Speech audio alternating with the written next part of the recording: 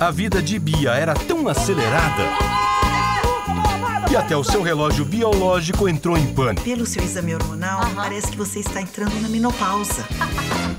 Oi? Oi, tudo bem com a quem? Da minha filha. Tem seis meses pra me apaixonar, casar e engravidar. No Rio de Janeiro. E quando não se tem tempo a perder, E você mora onde? Atualmente eu tô na casa dos meus pais.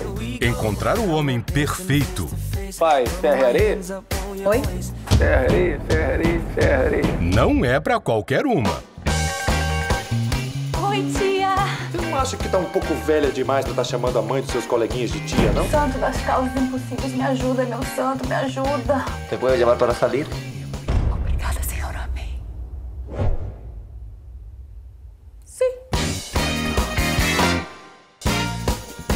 Solteira? Solteiríssima. Eu também tô, hein? Por opção. Não. Falta de opção mesmo.